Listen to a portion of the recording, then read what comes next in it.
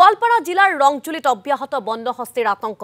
ৰংজুলি বন বিভাগৰ অন্তৰ্গত পাটপাৰা ইংলিছ বজাৰত বন্যহস্তীৰ মুক্ত বিচৰণক লৈ আতংকিত স্থানীয় ৰাইজ।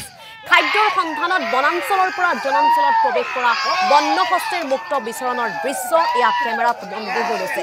বিগত কেইবাদিন ধৰি ৰংজুলি বনাঞ্চলিক কাৰ্যালয়ৰ অন্তৰ্গত কেইবাটাও স্থানত বন্যহস্তীৰ জাকটোৱে চলাই আহিছে সন্ত্ৰাস। আৰু ইয়াত দৃশ্য কেমেৰাত বন্দী হৈ ৰৈছে বন্যহস্তীৰ মুক্ত বিচৰণৰ দৃশ্য। আৰু শংকিত হৈ পৰিছে এতিয়া অঞ্চলবাসী। কেইবাটাও স্থানত যিহেতু বন্যহস্তীৰ জাকে সন্ত্ৰাস চলাই গৈছে আৰু বন্যহস্তীৰ আহ, জাকত এতিয়া নিদ্ৰা সৰিছে পাটপাৰা ইংলিছ বজাৰবাসীৰ। ইংলিছ বজাৰত বন্যহস্তীৰ মুক্ত বিচৰণক লৈ এতিয়া আতংকিত হৈ পৰিছে।